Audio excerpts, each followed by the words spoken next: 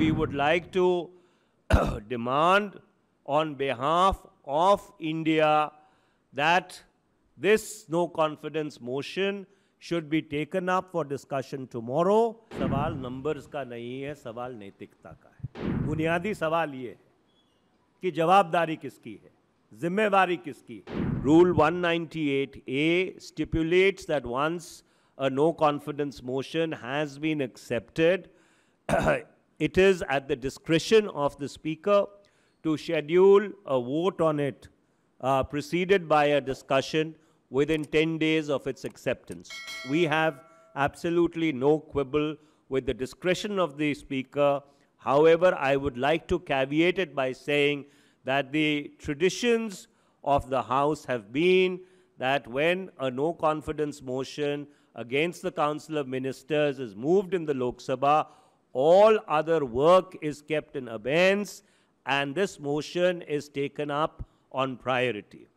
So therefore, if any legislative business is taken up in the Lok Sabha or in the uh, Raj Sabha, when a no confidence motion has been accepted and is pending, would be against the norms of propriety.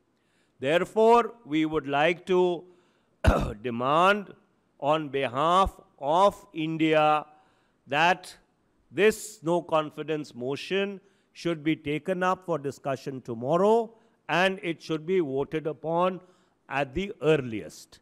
This, in brief, are the reasons why we felt it necessary to move this no confidence motion and why we feel that it is absolutely urgent that it must be taken up for discussion tomorrow itself. सवाल numbers का नहीं है, सवाल नैतिकता का है।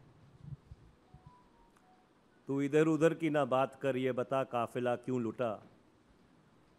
मुझे रहजनों से गर्ज नहीं तेरी रहबरी का सवाल है। और मैं बताऊँ काफिला क्यों लुटा? तेरा रहजनों से है वास्ता। मुझे रहजनों पे गिला नहीं, तेरी रहबरी पे मलाल है। सवाल ये है। बुनियादी सवाल ये है। कि जवाबदारी किसकी है? जिम्मेवारी किसकी है? और जब सदन में इसके ऊपर डिवीज़न होगा तो ये पता लगेगा कि नैतिकता की कसौटी पर मणिपुर में जो अत्याचार हुआ है जो वहाँ पे बर्बरता की घटनाएँ हुई हैं जो आ, जो वहाँ पे कॉन्स्टिट्यूशनल ब्रेकडाउन हुआ है उस पर कौन व्यक्ति कहाँ खड़ा है? सवाल राष्ट्र की सुरक्षा का है। सवाल राष्ट्र की प्रभुसत्ता का है।